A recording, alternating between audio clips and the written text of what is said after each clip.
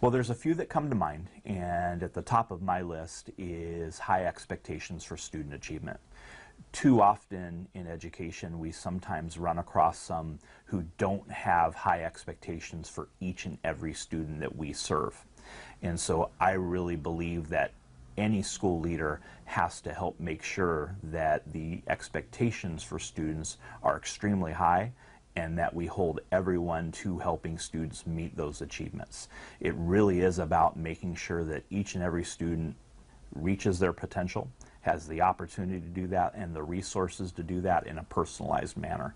So when I'm talking with school leaders, it's always about how we can make sure every student is successful. All means all when it comes to college and career readiness. And that's something that I, I hold very dearly. I think the other trait that's really important is a good school leader is a learner and is constantly learning about how best to serve their students, their community, their teachers, and their staff, because that's what leadership is all about. And it's impossible when you become a principal or an assistant principal or a director or an assistant superintendent to know everything every role that someone goes into really has a learning curve and that requires people to be open-minded and that requires people to spend some time learning about the role. And each role has a leadership component to it which means working with a variety of different stakeholders, working with different teachers, working with different students and backgrounds, those types of things. But it also has a management component that's also really important about how you actually build a master schedule, how you actually um, develop a safety plan, develop a budget. All of those things are pretty important in the life of a leader, and you're not necessarily going to come into any given role knowing how to do all of those things really well.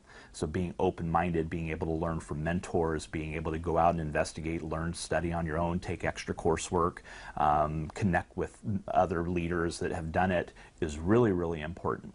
I think a third trait that's really important is adaptive leadership any school leader that gets into a new role, whether you're an assistant principal at a school, a principal, or a director, um, anytime you join a new school or district, you really have to be flexible in your approach as to how you're going to serve the students and the teachers and the staff and the community at that particular school or that district that you're assigned to. What works in one school may not work in another.